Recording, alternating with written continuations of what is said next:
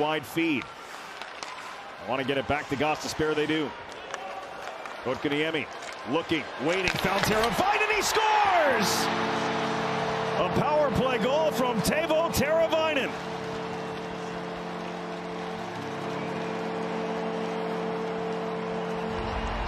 Well, Shane Gostisbehere involved in this play at the blue line. Killorn attempted to knock the puck away. And Gostisbehere eventually saucers the pa pass across. And he had a wide open Teravainen who puts it in the exact same spot as Svechnikov, up and over the blocker side shoulder. Killorn stumbled at the top. That opened up the space for Teravainen to walk in, and he puts it in a little window there. Outstanding shot by Teravainen, and his offense starting to pick up for the Hurricanes. Jackie Redmond with you from PNC Arena in Raleigh. A giveaway, an open net, they tap it home! Teravainen finishes it off, and it's 3 0.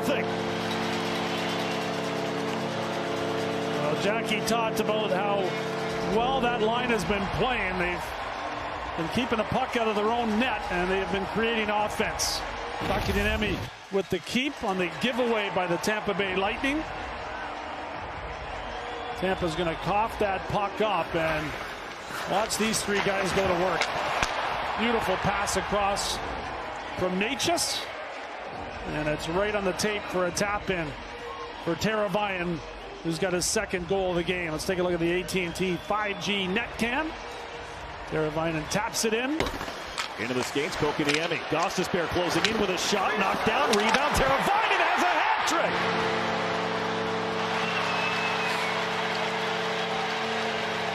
The third goal this afternoon for Teuvo Teravainen.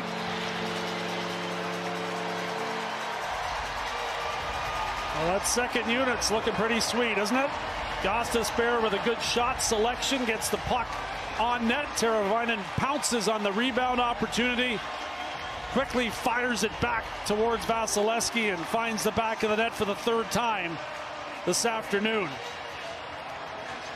It's been all Carolina here today and all Teravainen.